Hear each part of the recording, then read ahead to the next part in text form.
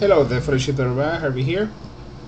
I'm smoking my Ivan Ries Church Warden. It's a pretty good smoker.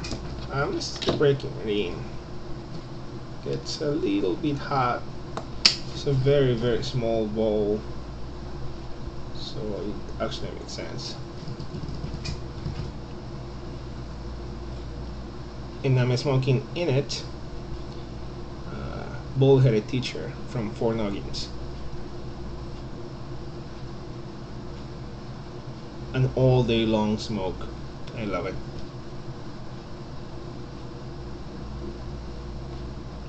Okay, this video is gonna be uh, basically a, a huge shout out from beginning to end to my pipe buddy here, Kevin.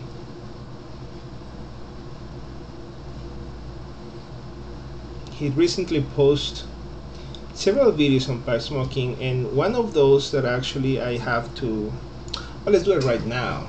And I'm gonna do and so I'm gonna put this as a video response. He shared uh, a couple of peculiar to say the least pipes that he has in his collection. Beautiful carving I mean wow.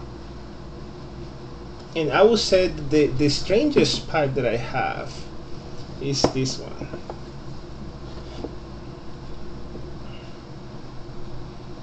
If you can make any sense of it. I think from from from this side looks like a snail.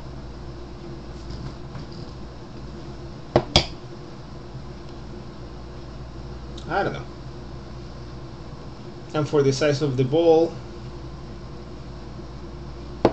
you will know which pipe maker makes it.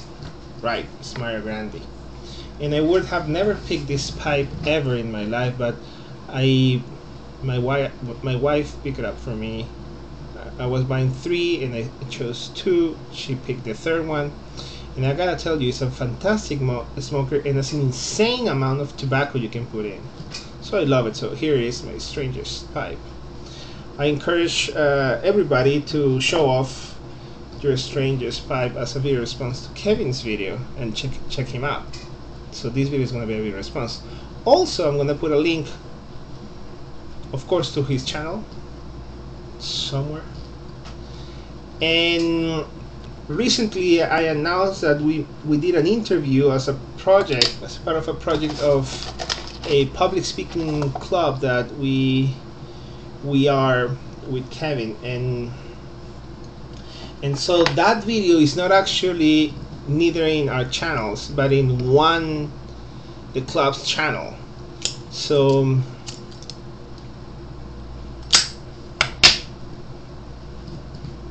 um, so I'm gonna put a link to the video here and write down in the description as well um, so um, what the heck are you still doing here watching my video? Go check check him out and make video responses and enjoy the interview. It's quite cool. As always my friends puff away